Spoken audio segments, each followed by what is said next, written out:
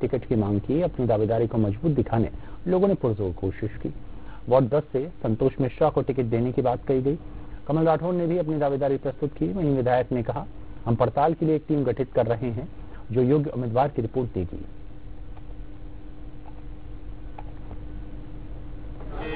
Ward क्रमांक छह, Mahavir ward से पार्षद टिकट हेतु माननीय विधायक जी के पास आए थे। मैं रामदास राठौर एडवोकेट हूँ। मैं भी बाढ़ क्रमांक से मकरौनी जाती हूँ। हम पूरी समाज के लोग सदर से, करदापुर से, मकरोनिया से और जो भी नरियावली विधानसभा से राठौर के लोग हैं वो सब एकत्र होकर मात्र एक सीट हेतु कमल राठौर जी के पक्ष में माननीय विधायक जी टिकट की मांग करने हेतु आए थे।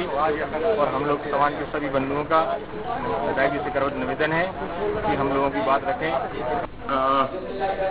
अभी हाँ कुछ लोग ज़रूर हमसे मिले हैं और उनका आग्रह अब टिकट के लिए तो कार्यकर्ता की इच्छा होती है और वो कहीं ना कहीं अपनी बात रखते ही हैं। लेकिन हम लोगों का प्रयास होगा कि जमीनी स्तर पर सर्वे कराकर या नीचे के फीडबैक लेकर इसके आधार पर ही आने वाले समय में जो भी होगा निर्णय होंगे।